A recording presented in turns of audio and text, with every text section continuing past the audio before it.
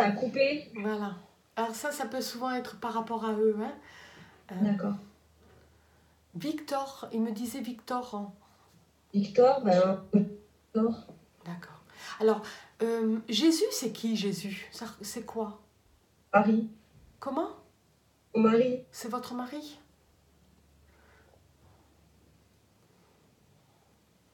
D'accord. D'accord. Euh, je suis désolée Aurélie, mais il y a, il y a des embrassades pour tout le monde, d'accord hein? Euh, C'est drôle parce que ce que je ressens avec lui, c'est des envies de vomir aussi. Vous voyez? Oui. Euh, Ouais, des oui. envies de vomir. Là, en- j'ai envie, c'est pris là, et j'ai envie de, voilà. hein, il est, il est. On me dit qu'il va falloir couper parce que euh, ça le fait revivre des choses difficiles encore, qu'il a besoin encore de, de, de nettoyer, de passer à autre chose. D'accord? Euh, C'est pour ça qu'il il vous fait, il fait ça. Ouais, nous aussi, on lui fait des Voilà. gros, bisous. D'accord Il vous embrasse tous fort. Fort. D'accord C'est des gros bisous forts. D'accord. Voilà. Hein Euh, D'accord. Il reviendra. euh, D'accord. Le guide est en train de me dire qu'il reviendra dans vos rêves. D'accord hein Il reviendra dans votre rêve. C'est plus facile pour lui pour l'instant de venir dans vos rêves, de, de, de, de, de- je veux dire, de, de venir vous chercher. On vient vous chercher, de vous donner des informations. D'accord hein Voilà. Voilà, il embrasse. Voilà. Allez, Nous on aussi, fait des gros, bisous. Voilà. Non, mais rien. Alors, je vais remercier euh, le guide. Merci. Voilà. D'accord. Je suis désolée, euh, Aurélie, de ne pas donner plus d'informations pour l'instant. D'accord? C'est trop tôt, en fait. Il faut toujours attendre, euh, et, euh, je veux dire, euh, un mois et demi déjà pour... euh, mais votre papa, c'est euh, c'est quelqu'un qui était attaché à la... je veux dire, au côté terrestre? D'accord euh, ce qu'il va falloir continuer, c'est de prier pour lui, pour que tout se passe bien, que la guérison de l'autre côté se passe bien. Ça se passe bien. C'est surtout ça qu'il faut que vous sachiez, c'est que il, est, euh, il a été, euh, il est bien accueilli. Et en fait, ces trois jours, ce que le guide est en train de m'expliquer, c'est que ces trois, trois jours, il est allé mieux, d'accord Où il était plus, même physiquement, où il était illuminé. C'était les trois jours où justement, euh, ben, c'était, on devait se dire les choses. hein. Souvent, on accorde à la personne, euh, c'est quelqu'un de bon, donc on accorde à la personne euh, la possibilité de, de pouvoir parler avec la famille aussi. D'accord? Parce que j'ai l'impression qu'avant, il ne pouvait pas trop parler, il avait du mal ou, ou il n'arrivait pas. Et donc, ces trois jours ont été accordés justement pour qu'il puisse parler, euh, euh, que vous puissiez aussi, pour que sa conscience soit nette en fait. D'accord? Voilà. C'est pour ça qu'il revient euh, justement à, cette fin de vie qui était importante pour lui. Voilà. Euh, D'accord. Il me dit que quand il... euh, le guide aussi me disait aussi, c'est lui qui me disait que euh, quand il rêvait, il rêvait déjà de l'autre côté. Il avait déjà vu des choses de l'autre côté. a déjà dit, ouais. Voilà, hein, il a fait un aller, un aller pour voir, pour ne pas s'inquiéter. Il a quand même eu, euh, je veux dire, euh, cette crainte juste au moment du départ. Hop, on l'a, on l'a attrapé, on lui a dit, oh, tu viens là. Il a eu comme une douche, il me disait une douche euh, euh, fraîche. Vous savez, après la chaleur, quand on prend une douche et on est bien, et on a lâché tous les... Il avait son corps trempé. Quand, euh, Quand il est décédé. Voilà, parce que, d'accord, il- voilà, parce qu'il me dit qu'il avait chaud. On regardera, vous regarderez, et il me dit qu'il avait eu chaud, et puis tout d'un coup, pouf, cette douche qui l'a rafraîchi en fait. D'accord hein, Qui lui a fait du bien. Voilà. En fait, sa sueur, euh, euh, d'accord, Euh, la sueur qu'il a eue et tout ça, c'est c'est, euh, la peur, la panique en fait sur le coup. D'accord hein Voilà. Il a fallu avoir cette fièvre pour qu'il se détache complètement de son corps. Voilà. D'accord. Voilà. De toute façon, c'est quelqu'un qui avait toujours chaud. Il me montrait ça aussi. Euh, alors, mon guide, est-ce que tu peux me donner des informations? D'accord. Il va y avoir des anniversaires, on est en train de me dire aussi. Oui, oui. Hein, il y en a plusieurs là. D'accord? Oui. Euh, Faites des anniversaires, c'est important parce que ça leur, ça leur permet à eux de, de venir vous voir. On leur accorde cette permission. Ah, Alors prenez des photos, prenez des photos quand c'est comme ça, euh, euh, parce que des, des fois vous seriez, pourriez être surprise justement euh, de voir quelque chose là en fait. en parlant de ça, on avait pris une photo de lui euh, le jour où, où il allait, ouais, la veille où il allait partir. Son corps était dé- dé- décalé? Et en fait, il y, avait un chien sur la photo. On voyait un chien sur la couverture, une tête de chien. D'accord. hein. Alors ça peut être peut-être un animal qu'il a aimé quand il était plus jeune et tout ça, et du coup cet animal s'est présenté aussi. D'accord? Alors il n'y a rien de mal euh, de fait de voir un animal. C'est souvent les animaux viennent aussi au moment du départ du maître pour, pour dire eh ben, nous aussi on est là. D'accord. D'accord? Donc il n'y a rien à craindre de ce côté-là. Il n'y a pas de prédiction mauvaise ou quoi que ce soit. D'accord. Euh, On peut voir des oiseaux, des formes d'oiseaux, mais aussi quand on prend une photo d'un défunt, d'une personne qui va partir, on le voit par son aura qui est déjà décalée aussi, en prenant la photo. D'accord, ça, j'ai pas fait attention. Eh oui, on voit le décalage de l'aura, déjà. Je sais pas, Isabelle, mais euh, au funérarium, on, on a vu un signe, on a vu des lettres qui se sont, qui se sont mis sur le mur. Alors, je sais pas si on a un peu euh, halluciné ou pas, mais. Non, non. Il- il- en fait, déjà, euh, votre, papa, votre père me disait déjà qu'il n'était pas dans la tombe, il n'était pas dans le cercueil. En plus, c'était un joli cercueil. D'accord Il me montrait quelque chose de joli. Mais il me dit que il était à côté de vous, il a, il a circulé autour de vous pour vous dire- donner la main, vous dire je vais bien, je vais bien, je vais bien.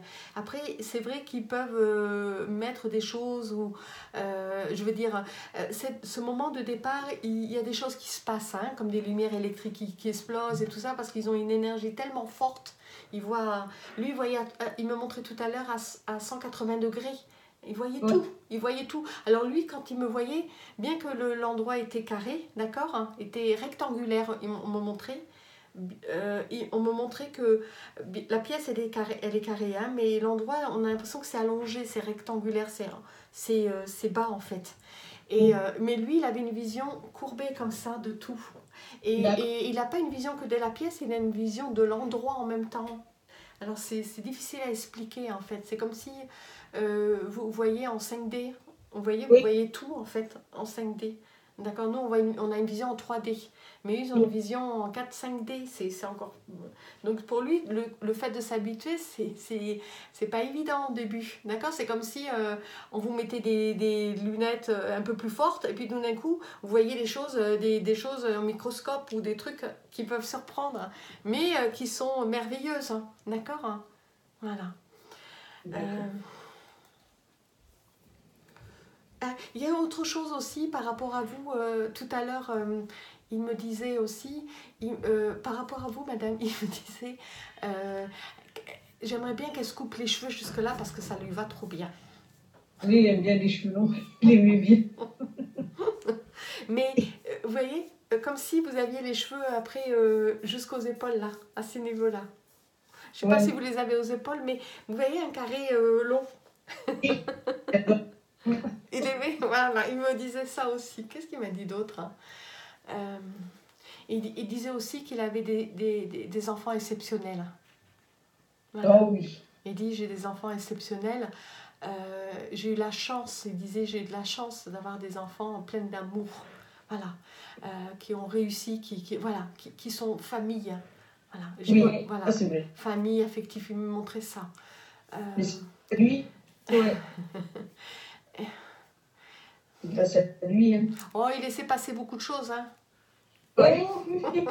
D'accord Parce que par rapport à ce qu'il me montrait, euh, oh là, c'est pas grave. Vous voyez? Euh, euh, vous, Il me montrait que vous, vous étiez plus, un peu plus autoritaire sur certaines choses, par peur, hein, d'accord? Et, Mais lui, c'est... oh, et puis, euh, il, se il, il me montrait aussi que des fois, il se faisait engueuler. Et- Alors, il me montre plein de choses au moment de la consultation. Je ne peux pas tout, tout, tout dire, hein, d'accord, à ce moment-là. Mais il me montrait aussi que euh, des fois, vous lui en vouliez parce qu'il il, il disait le contraire de vous par rapport aux enfants. D'accord hein? C'est vrai. Et ça vous agaçait. euh, et euh, bon, occupe-toi de tes enfants, tu le sais. Il me, il me montrait ça aussi, des images de l'enfant, ça. Euh, on a l'impression aussi que les enfants sont tous près les uns les autres aussi. Vous voyez, il Ouais. me montrait ça. Peut-être deux ans, trois ans, hop, hop, voilà. Mais il me montrait. euh, euh, il me montrait, euh, vous voyez, il me, il me montrait comme si c'était la chaîne, euh, pas la chaîne désolé, mais l'un, vous savez, une photo, l'un après l'autre, après l'autre, et après l'aîné au plus jeune. Et bon, Cindy, elle est née un petit peu plus tard. Enfin, on était un peu plus âgés. D'accord. Voilà. On l'a eu plus tard. D'accord. Et il me disait, elle n'a elle a pas d'enfant. Non, Euh, je ne sais pas pourquoi il me disait ça. Est-ce que Cindy a une, un chéri, pas encore un chéri? Donc il ne me montrait pas ça. D'accord? Voilà. Et il l'embrasse très fort parce que. euh, il vous embrasse tous. D'accord hein C'était, et Il me montrait ça parce que c'était pas forcément euh, l'un plus que l'autre. Il vous aime tous et de la même dimension. Et il me montrait vraiment un amour. pff, euh, ça déborde, hein, d'accord hein. Mais par contre, il savait pas dire je t'aime. Ça, c'est un truc qu'il sait pas dire. Vous voyez? Oui.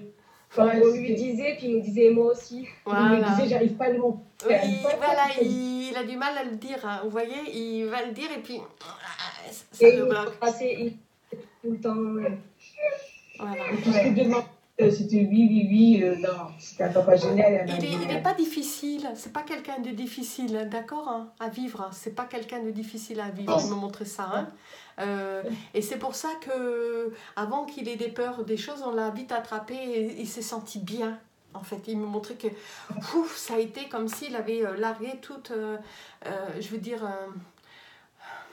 vous savez, euh, tout ce qu'on a pu euh, peut-être lui faire du mal ou des choses comme ça, il a largué tout, en fait, tout, tout. Il a lâché les bagages pour enfin être libéré. Alors, il est dans un corps de lumière. Hein. On me montrait bien qu'il était dans un corps de lumière. hein. et euh, c'est drôle parce qu'à un moment donné, il me dit Regarde, Isabelle, je suis comme en pyjama. Mais moi, j'aimais bien porter le pyjama. Mais il est en clair. hein. Il est bien en clair. D'accord? Mais à l'aise. Ouais. D'accord Et, et il n'aime pas non plus que, les, que ça, colle, ça colle sur sa peau, les choses. D'accord? Oui, Et- oui. Voilà, il aime être à l'aise. Et là, il me montrait un pantalon. euh, euh, ce qu'il me montrait, c'était un pantalon large, fin, euh, pas du lin, hein, parce qu'il n'aime pas le lin. Euh, il me montrait, euh, c'est une sorte de, de, je dirais, c'est comme de la soie et du coton en même temps. C'est, c'est, voilà, je peux pas dire la matière, ça n'existe pas sur la terre.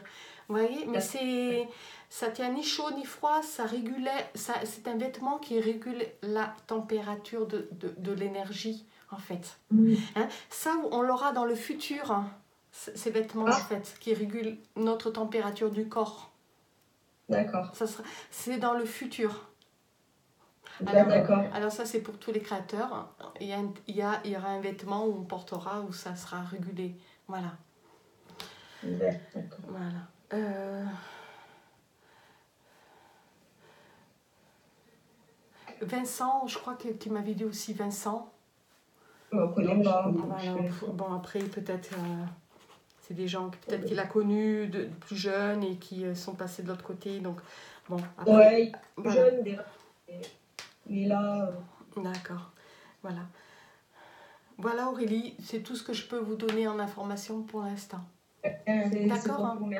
Hein Et ne, ne vous habillez pas complètement en noir. D'accord Merci, ouais. Hein Mais Euh, qu'il est dur pour nous. Enfin, Oh là là. bah, vous pleurez encore, hein euh, il, me montrait ça encore, hein, qu'il euh, qu'il entendait les pleurs. Mm. hein. Et il faut que ce soit des, des pleurs de joie, de dire voilà, il va bien, euh, vous allez le retrouver de toute façon. Euh, Oui. Plus vite que vous ne le pensez, parce que le temps sur Terre, il passe tellement vite. ouais, c'est vrai. Euh, 5 ans, on va, hop, on, on voit nos enfants grandir, on se dit, ah déjà, vous voyez, ah Mm. déjà, ça- le temps il passe tellement vite sur la Terre que, que, que quand on passe de l'autre côté, il n'y a plus de temps et vous vous, vous, direz, tiens, si j'avais su, je- c'est comme si on regardait le, le passé, on se dit, euh, oh là là, cette époque, j'aurais dû peut-être faire plus ci ou ça, ou, vous voyez, parce que le temps a passé. Mais, mais, mais de l'autre côté, comme il n'y a plus de, d'espace-temps, c'est plus la même chose. Donc du coup, eh ben, c'est comme si vous ne l'aviez pas lâché. En fait, c'est comme si vous étiez parti une semaine en vacances et que vous étiez revenu en fait. Ouais. Voilà. Et, et il avait aussi le regret euh, tout à l'heure, c'est comme s'il y avait un voyage organisé, que vous deviez partir dans un endroit qu'il aimait bien et que ça. Et, et là, les soucis ont commencé. D'accord hein, Euh, Les soucis de santé. Et voilà. Ouais. Euh, il, il me montre comme si ben, on n'avait pas pu terminer la valise. Ouais. Il me montrait ça. Voilà. Ouais. Euh, D'accord. Voilà. Alors mon guide est en train de dire de toute façon, euh, là où vous allez, il ira de toute façon. Ouais. Il veille sur nous. Il- Il verra. Alors, il ne Mm. peut pas encore veiller sur vous parce qu'il n'a pas, mais il a un œil sur vous, il regarde ce que vous faites, euh, voilà, mais il ne peut pas encore euh, euh, vous aider ou quoi que ce soit. Et ce, qui, ce, que, ce que le guide me dit, c'est qu'il faut atténuer vos larmes, et que ce soit des larmes un peu plus de joie. Euh, d'amour, d'amour, c'est surtout ça. Après, on peut avoir la tristesse qui est normale. Vous êtes, vous êtes un peu euh, culotté des fois. Parce que euh, le chagrin, on l'a, c'est humain. Hein. donc, donc des fois, ils sont. je veux dire, on peut avoir un chagrin pour une personne, mais les chagrins vont, s'atténuer et vont être plutôt des, des larmes de joie, de, de, bonheur pour les personnes qui passent après. Voilà. et il me disait aussi par rapport à un de ses fils. Euh, j'ai noté ou pas, non, euh, euh, qu'il fallait aussi qu'il développe sa médiumité aussi. Voilà. Hein, c'est pas que des jeux de cartes. Il a des, il a des choses qui s'ouvrent en lui et tout ça parce que votre père pourrait venir l'aider par la suite. Ah bon? D'accord. Hein. Mais oui, par la suite, pas tout de suite. D'accord hein, D'ici deux ans, trois ans, par rapport à la mission qu'il que, aura décidé de faire. Parce que nos défunts viennent aussi nous aider aussi dans notre mission de vie. Donc ils viennent aider l'un l'autre qui a besoin. Il suffit de lui demander après par la suite de l'aide. D'accord. D'accord hein. Voilà Aurélie, ben, c'est tout. J'ai pas d'autres informations. Et je veux savoir euh, si pour moi, euh, au niveau euh, médiumnité, est-ce que j'ai des choses ou pas? Mais si, parce que vous faites déjà les rêves prémonitoires aussi. Ouais, j'en fais beaucoup. Ben oui. Mm. Donc, euh, donc euh, comment... Ça, comment dire? Est-ce que ah, vous êtes une famille déjà euh, ouverte à ça, de toute façon. D'accord? Vous êtes tous un peu ouverts à ça, plus ou moins et tout. Est-ce que, est que le... Oui, pour vous aussi, on me dit. D'accord Mais votre frère, il a quand même euh, un côté euh, plus terre à terre. Il a besoin de côté terre à terre. Euh, c'est pas parce que un, impossibilité du médium qu'il n'y a pas d'autres dans la famille et d'autres membres. Il peut y avoir en fait, tout le monde est médium, d'accord? Mais on le développe, on ne développe pas. Euh, quel est notre comportement aussi, nos attitudes vis-à-vis de l'autre? Est-ce qu'on s'ouvre aux autres? Vous voyez Aurélie, c'est tout ça en fait qui va faire qu'à un moment donné, ils vont se dire, bon, elle est prête, on va l'emmener vers, euh, vers un contact où elle peut, transmettre ça, où elle va guérir, où elle va soigner, où il y a d'autres choses qui vont, qui, vont être en place aussi. D'accord? Euh, Vous avez aussi, en fait, vous avez chacune euh, la médiumité. Votre, votre maman a un petit peu peur de ça. Bien qu'elle y croit, elle est plus, plus craintive. D'accord? Voilà. Elle veut pas qu'il y ait quelque chose qui apparaisse qui, qui est bizarre avec une tête. Euh, Et surtout pas la nuit. On avait dit qu'il pourrait soigner, c'est ça? Du magnétisme. Qui ça, votre frère?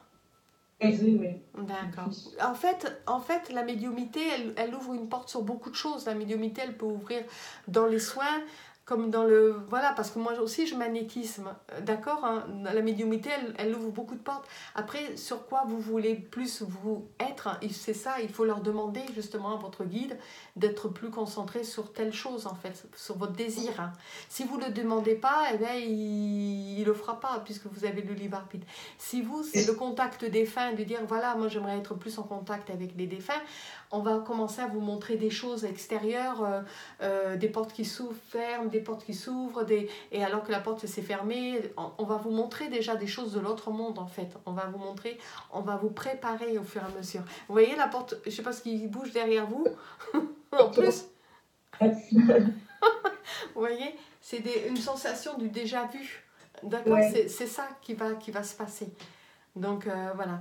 Il y a, voilà. Donc, euh, donc, euh, donc euh, oui, vous avez la médiumité. Mais vous, c'est beaucoup les rêves, hein, par les rêves en fait. C'est ça. D'accord? C'est vous, c'est plutôt les rêves. Hein. c'est qu'on vient chercher votre âme et on, vous fait voyager, on vous fait voir des choses en fait. D'accord. D'accord? Voilà. Et ils sont aussi, aussi très très bien les, les, les, les promunitions par les rêves. Hein. Mm, c'est vrai. C'est les en fait. Mm. D'accord Ça, vous l'avez déjà choisi avant de venir. Voilà. Oui, c'est ce que j'ai écouté vos vidéos et j'ai peut-être aussi, euh, euh, Aurélie, pour pouvoir vivre votre vie euh, tranquillement à côté et en même temps, euh, parce que euh, souvent vous êtes fatigué euh, le matin parce que vous avez travaillé pendant la nuit. D'accord. Oui, je suis souvent fatiguée le matin, Ben oui, même si vous vous couchez tôt, ben vous, euh, vous avez travaillé pendant la nuit. Votre âme a travaillé, elle est, elle est allée sur des plans pour, euh, pour euh, travailler en fait. D'accord. Donc vous faites déjà du travail. Si c'est pas sur le plan de la Terre, c'est sur d'autres plans de conscience. Vous le faites. C'est dommage qu'on se rappelle pas de tout. Mais non, parce que sinon on n'aurait pas envie forcément. Alors, si vous allez vous rappeler au moment où vous allez vous, vous coucher, en fait, à un moment donné, quand vous êtes en, en, en- comment dire, en, euh, entre le sommeil et le rêve paradoxal, en fait, euh, période paradoxale, vous vous rappelez de certaines choses hein, à ce moment-là. D'accord. Vous pouvez vous rappeler, demander à vous rappeler de ce que vous avez rêvé. D'accord. faire. Euh, comme moi je passe de l'autre monde, que je vois des choses de l'autre monde qu'on me montre, euh, c'est le soir en me couchant, je me demande où c'est terminé, où j'étais et tout ça. Donc je me rappelle de, de où j'étais dans mon rêve euh, à ce moment-là. Ce ne sont pas des rêves en fait, ce sont des, des sorties. On fait des sorties. Toutes les nuits, chacun de nous font des sorties. On fait des sorties, conscientes ou inconscientes. Hum, D'accord. D'accord Ce qui serait bien, c'est de- d'être consciente de, de vos rêves, de ce que vous faites de l'autre côté. Ça, c'est ça qu'il faut travailler. C'est d'être consciente, de dire avant de dormir, dire je vais être consciente de ce que je suis en train de faire de l'autre côté. Voilà, il faut faire la demande. D'accord. Je demande à mes guides, à la protection, d'être présent et d'être consciente de ce que je fais pendant la nuit. D'accord. D'accord? Voilà. Vous, vous fonctionnez dans la nuit en fait, c'est comme ça. Mais la nuit sur Terre, c'est pas la nuit de l'autre côté, ça n'a rien à voir. Et C'est sûr. Voilà. voilà Aurélie, ben, je vous embrasse. euh, je vous- ben. J'embrasse Catherine aussi. Oui. D'accord. Euh, Cindy aussi. C'était pas Cindy qui était là? Voilà. La jeune fille Cindy. Voilà. Merci. encore. voilà. Et votre papa, il y avait beaucoup d'amour, Cindy. D'accord? Voilà. Et euh, beaucoup d'amour euh, pour tous les moments. Il me montrait que vous étiez constamment là, en fait. D'accord? Vous ne l'avez pas lâché. Euh, il avait besoin d'un verre d'eau, vous allez chercher, et vous étiez toujours là pour lui. Il, il a vu tout ça. Hein, et- mais il vous embrasse tous, il vous aime tous très fort. hein. D'accord. D'accord, merci beaucoup. Voilà. Et pour aider, du coup, ça se passe comment?